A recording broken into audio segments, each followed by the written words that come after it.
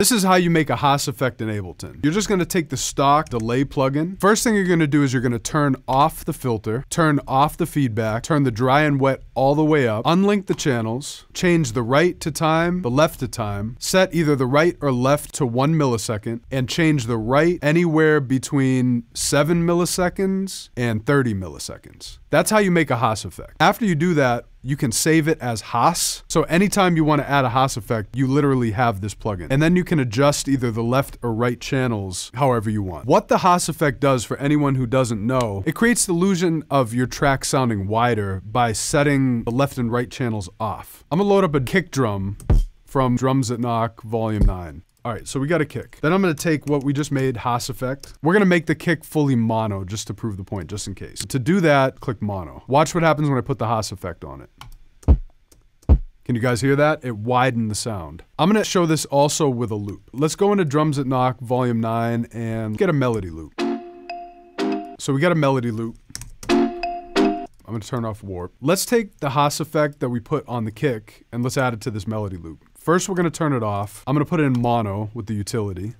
Listen to it now. Very narrow, it's in mono. Then let's add the Haas effect. Watch what it does.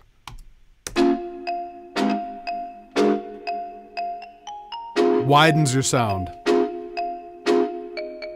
Play around with these channels. You can make the right one at one millisecond and turn the left one up between seven and 30.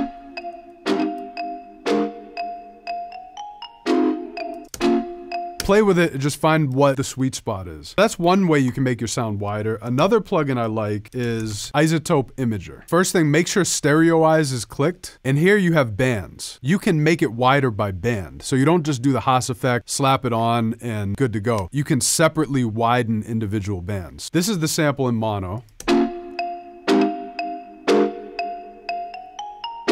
Now we're gonna start widening the bands. Adjust the frequency ranges.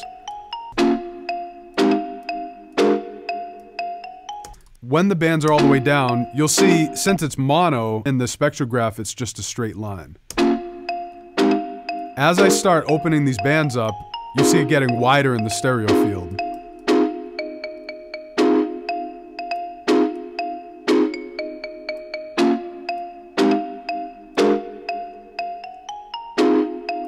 There's also a plugin, it's called Wider. It's a company called Polyverse Music, and it's just one knob. The one downside of using stereo with plugins is you can run into issues with phase, so that's something definitely to look out for. Another way you can make your sound wider, Kilohearts has a plugin called Haas.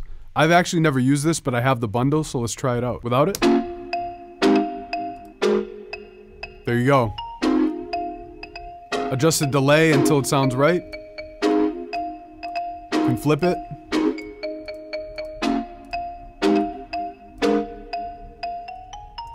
Let's compare the Kilohearts one to the Ableton one we made. That's the Ableton one.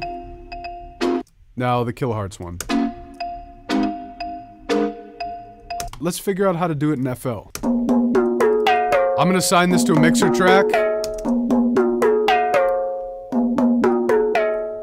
In FL, to widen your sound, you can use this stock plugin called Fruity Stereo Shaper, and then just mess with the delay knob.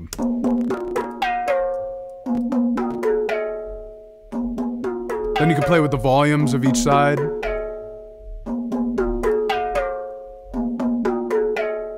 And there's another plugin, Fruity Stereo Enhancer. That is another way you can do it.